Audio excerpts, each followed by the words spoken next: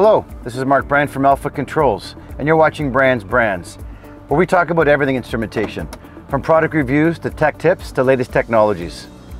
Today I thought I'd do something different and take you behind the scenes of Alpha Controls calibration lab and show you what happens to your equipment once it arrives in our lab. The first step is your equipment arriving at our warehouse where it's received and visually inspected for any damage during shipping. Once all that's completed, it's sent to the lab. The first step in the lab is to process your equipment. If your unit's been here before, that's fairly easy. It's already in our database, it just gets assigned to a bench. If your stuff hasn't been here before, it needs to be logged into the database, assigned a procedure, and then assigned to a bench.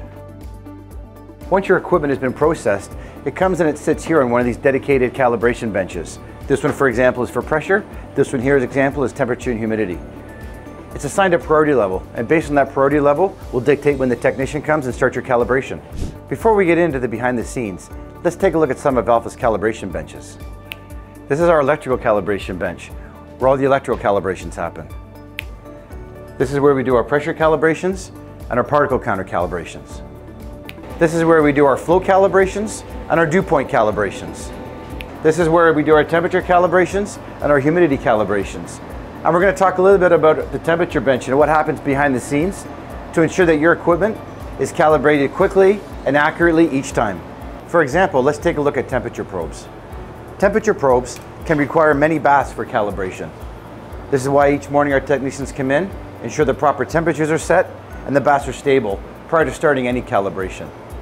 This also helps with the speed of calibration as we can move the probes from one bath to the other without having to wait for the temperatures to stabilize. Another thing we do each morning is check our reference probe against a triple point of water and adjust it accordingly to remove any drift. This isn't really required, and you don't have to do this on a daily basis, but we do it here at Alpha to keep our probe running at peak efficiency.